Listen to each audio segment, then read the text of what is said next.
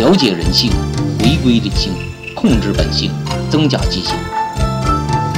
群魔大典恶人榜第九榜十大悲欢。准确的说，这个节目不算案子，但是明明是案子，却无法变成案子，这种感觉就是悲愤。事情的发生地原本是假的啊，给画了一下，因为吧会对当地的民俗和旅游造成负面影响。但是白哥不甘心呢，你既然发生这种事儿了，就不能人为让它消失，就像那个凶宅似的，卖家怕价格受损。可是你把买家坑了，对不对？有就是有，幸好我终于给抠出来了，准确的地址是贵州省，呃六支特区哲西乡哲西村的文昌阁寺庙。呃，在贵阳市有个文昌阁，而泽西村这个文昌阁呢，啊也是源于贵阳那边，只不过它这边年头比较晚，距今才一百三十多年，名气不是很大，但是在当地还是很强大的。然后吧，是这个节目里面的所有人名，我不能确认是不是真名，这也是没办法的事儿，咱们就算是真的吧。女主角叫刘连秀，嗯，一九六三年出生，他家住在贵州省安顺市，呃，镇宁县的山云村这个村后来可能是改名了，就查不着了。啊，在当时非常的小，只有二三十户人家。连秀她的爹爹叫刘满公。他的大姐叫刘连英，下面他还有一个弟弟。那么毫无疑问，连秀长得非常漂亮。从小他父母就全力供他读书，啊，他呢也是很优秀。上了初中之后，这学习成绩特别好，尤其是作文水平，全校出类拔萃啊。他这写字儿也很漂亮，曾经是得过奖，并且家里面那些所有的针线活，他做的也是贼像样。由此成了很多人求婚的目标，但是呢，连秀都不同意。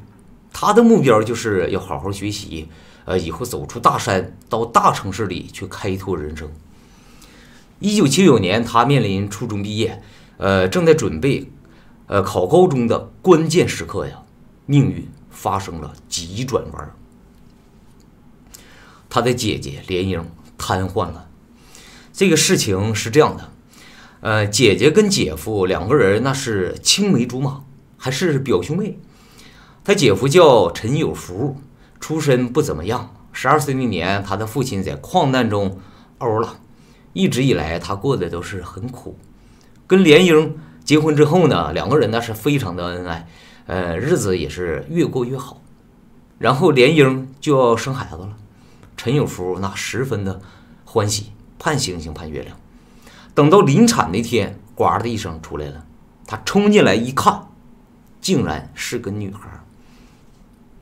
哎呀，这小子顿时就天旋地转呐，直接坐到了地上。他想要个儿子，关键问题是，他坚定的认为莲英是个废物，没生儿子就是你不行。所以呢，从那一刻起，这小子立马就变脸了，动不动就不回家。呃，偶尔回来一趟还冷言冷语，导致这个大冬天的，连英她坐月子，呃，没人照顾，就自己啊拖着虚弱的身体，还得挑水做饭，最终呢卧床不起。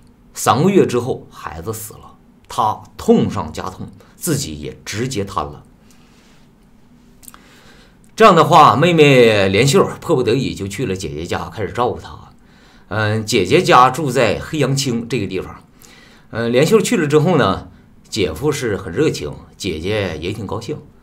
然后这时间就到了要中考的时候，连秀他就要去县城参加考试嘛。呃，这个黑杨青距离县城比较远，大致有五十多公里，就怕这个路上不安全，然后姐夫就提出来要亲自送他过去。两个人到了县城，姐夫给他买了一双皮鞋和一件一件新衣服。完后就带他去了饭店，点了好几个菜，还要了一瓶白酒和一瓶汽酒。那么相信大家都感觉到了，有点不对劲儿，是吧？没错，陈有福之前他偷偷的弄了一个假的夫妻证明，在吃饭的时候是花言巧语，把连秀给灌醉了。完后，他用这张假证明到旅店开了房间。当时的话，那个年代正规旅店你要去住去，你没有这个夫妻证明，你随便两个人一男一女进房间是不可能的。房间都是那服务员他把着钥匙，你想进屋的时候都他开着的。开了房间之后，趁着连秀不省人事嘛，直接将其拿下。这连秀醒来之后，当即大怒，就怎么的，呃，要去报警去。然后这陈有福直接就给他跪下了，先是各种的哀求，呃，然后再跟他小以厉害，就是你要是去报警，剩下你姐姐怎么办？她自己一个人在家是吗？她是一个瘫痪呐，我要不在家，她能活吗？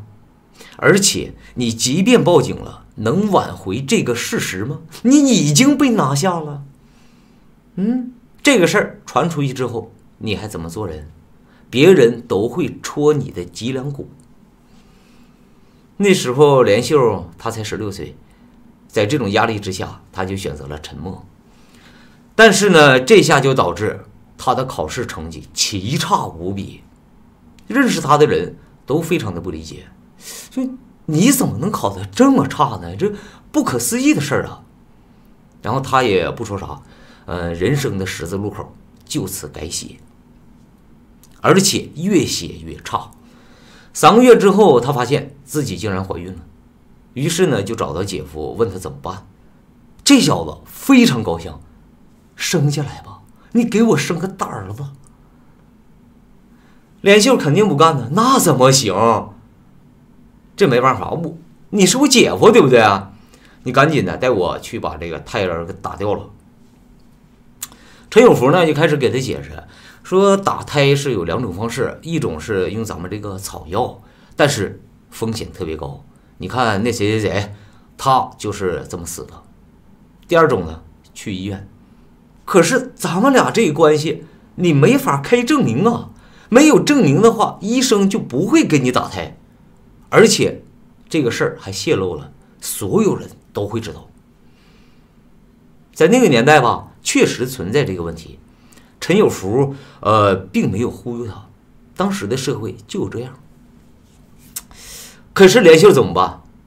他很难呐，这孩子要是生下来，你姐姐那边怎么交代？是不是？反复挣扎之后，他决定自杀。那么我们用眼皮都能猜到，肯定是没死成。那天吧，他在屋里面选择上吊，就学那个电视啊，或者是书上那样的。呃，整个绳子挂到那房梁上，然后往脖子上一套，再把那双脚，呃，双脚在下面把那凳子一蹬，结果就咣当一声嘛，陈有福就听到了这个动静，然后他赶紧冲进屋里把他给救了。完后，他姐姐就不断的安慰他，就说：“你这考试没考好，你别想着死呀，不值得，是不是？”他姐姐不知道咋回事，可是连秀呢？呃，也没有解释，他就这么糊弄，这事儿呢就暂时过去了。一九八零年春天，他迫不得已生下了孩子，果然是个男的。这陈有福狂喜呀，给儿子取名叫陈牛宝。哎呀，看到这个名字我就有一点感叹，他应该给儿子起名叫陈牛逼。那多给力呀！你还牛宝，一点都不大气，是不是？真事儿，他现在牛牛大发了，一下子有了两个老婆，还有个大儿子，那都美上了天。那么姐姐莲英怎么办呢？得知之后，差点气死啊！可是随后他就默认了，嗯，谁让自己生不出来儿子呢？现在又瘫痪了，也丧失了生育能力。妹妹替自己生个孩子，哎，就这么地吧。于是，一夫双妻，生活继续。可是没有不透风的墙啊！很快，别的村民就猜出来怎么回事了。那你看看，你姐姐生不了孩子，大家都知道。那怎么现在突然就有小孩了？而且你妹妹成天在你这块住啊，她抱小孩、照顾的时候，你看那个动作、那个表情，这都藏不住的。所以大家就开始在背后戳脊梁骨。一九八一年，小孩满周岁了，呃，连秀就决定我要离开这里，离开陈有福。结果这陈有福大怒，当即就放出话来：“你要是敢走的话，我就杀了你姐姐，我再牛杀了你的父母，干掉你全家。”连秀很害怕。经过协商，最终他姐夫给了他一个选择：，呃，你要想离开的话，要么再给我生一个儿子，要么你就当尼姑去。OK，刘连秀立刻就做出了选择，我去当尼姑。完后，他就收拾东西，立马去了安顺市天台山的五龙寺，成了一个小尼姑，法号叫慧洁。从此之后，他是彻底忘却红尘，六根清净，皈依佛门。一转眼过去了三年，到了一九八四年秋天，附近的泽西乡泽西村儿，呃，要重修他们的当地的一个破寺庙。他们这个吧，就是也叫文昌阁，在改革开放之前一直是没落的。眼下你看，全国各地啊都重新搞这种玩意儿了，所以呢，他们。这些村民也动了心思，全体村民集资重修寺庙，打算捞一笔。然后就要，呃，你得请一个这个有德行的尼姑来住庙啊。经人推荐，呃，慧杰就来到了文昌阁。随后，这个文昌阁吧，确实是做的，呃，很有起色，有模有样的。四面八方的香客纷纷而来，那收入非常可观。嗯。这个账目是怎么回事呢？就是扣除一切那个开销，每个月还能赚两三千块钱啊，在当时就已经很多了，把那些村民都乐的是合不拢嘴呀！哎呀，就银子就这么来了，咱们整两个泥台，咔咔往那块那砖头子一摆，然后整点破枪一放，这帮人就来给你捐钱呢。这钱来太巧了。一年后的一天，慧杰正在那块儿，呃，寺庙里面洗菜呢。突然就进来了一个人，他猛地抬头一看，啊，原来是村长熊洪武，这个名字这么绕嘴呢，咱们就叫他大熊就行啊，熊村长，熊洪武，嗯，没什么事儿，就过来了，那个跟你闲聊。但是这个聊天的过程中，慧杰就感到不对劲儿，这村长好像有什么想法。可是接下来半个月过去了。呃，也没有出现什么意外的情况，村长也没来，他就慢慢就，呃，放松了嘛。接着的一天晚上，那天晚上下着雨，慧杰他正在给经堂里面那个油灯添油呢，突然有人就跳墙进了这个寺庙，直接开门闯了进来，此人正是大村长。当时庙里面只有慧杰一个人，村长。原形毕露，挑明了告诉他：“今晚你陪老子玩玩。”慧杰一下那个油葫芦都掉了，大惊：“你疯了吗？这是佛门呐！”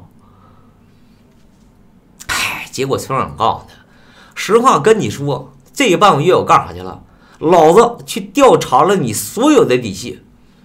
你姐夫能玩你，老子就不能吗？”佛门，佛门算个鸟，嘿嘿，来吧。慧杰没有任何办法，被拿下了。王后呢，明确的告诉他，你就别想着报什么警。第一，老子在这块就是土皇帝，谁也奈何不了我。第二，报了警，你就再也别想混了。你尼姑，你摊上这事儿，你还想混吗？并且从此之后。熊老大隔三差五的就来他这块享受一番。没多久，慧姐再次怀孕。这个孩子怎么办？熊老大给他的想法就是生下来啊！上次你能给你姐夫生儿子，这次也能生儿子。慧姐什么都没说。她现在的身份是尼姑，生了孩子算什么？几天后的一个晚上。他在文昌阁上吊自杀，可是这寺庙还得开呀。随后呢，连续找了好几个和尚过来住庙，结果都是没待几天就全吓跑了。据说啊，呃，他们离开的理由都是一个，就是半夜的时候很吓人，总梦见有一个女的吐着长舌头在庙里走来走去。于是他们这个文昌阁就此歇菜了，生意是一天不如一天啊。如今已经过去了整整三十七年，咱也不知道恢复了没有。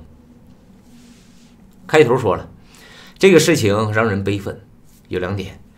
第一呢，它就是个案子，但是没法给它算成案子，是吧？哈第二，那些香客过来求神拜佛保佑，保佑平安，保佑生子发财，各种保佑。